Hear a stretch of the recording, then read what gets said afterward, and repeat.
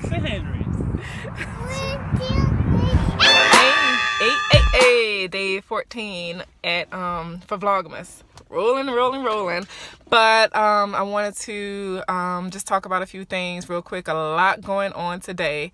Um I just came from uh and um I just came from a client meeting that went really well. I closed the deal. So I was like, hey, I'm going shopping. But uh shopping for me means kid to kid or once upon a child for my baby. So um Jael is in a Christmas performance tomorrow at school, and I needed to get a um, Sunday best type dress for her, as well as some shoes. We have dresses at home, but I don't know, I just wanted something like new or, you know, new-ish. And um, I found something really cute, so I'm really excited about that. Um, and then I'm going to pick up some fundraiser stuff from her school. Y'all tell me this, like, whenever um, there are activities at the school, um, I want my baby to be a part of everything because I don't want her to feel excluded or you know I don't want her to feel any kind of way because I remember very clearly as a little girl not being able to do certain things with my class because of finances. And they'd send me to another classroom with another teacher whole new sets of students that I have you know I don't know these people so I'm just sitting there because my the rest of the class are going on a field trip or something or they'll, they'll send me to the library to like just read books and stuff. And that's horrible. It's a horrible feeling. And I never ever want any of my children to have to feel that way. So everything that comes up at the school I'm like yes yes yes yes yes. But it's so overwhelming.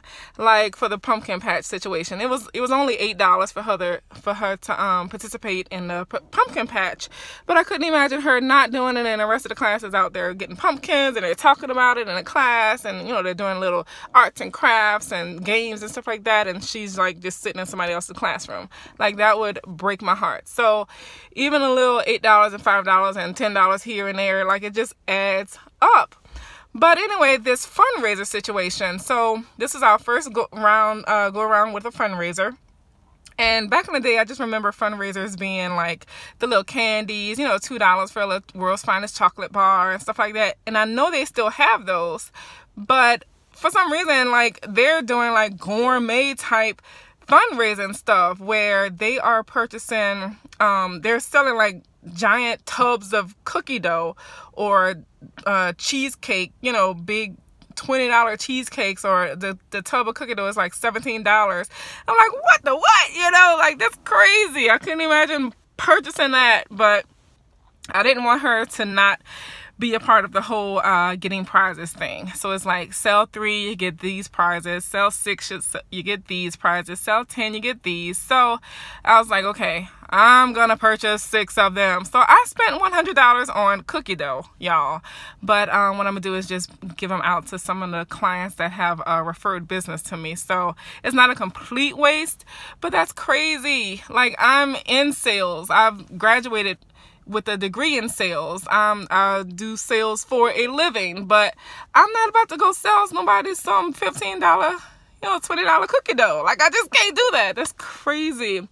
Um, but at the same time, I always support people whenever they were their children coming uh, for fundraisers. But I don't know, it's just, I, it just seemed excessive. So anyway, I'm going to pick up that from the school and then um, my little company has a little Christmas gathering at the office, just some appetizers and drinks for the uh, office staff. It's only about 15, 20 people there. So it's nothing big, but it's just a little cute little function. That's today at 4 o'clock.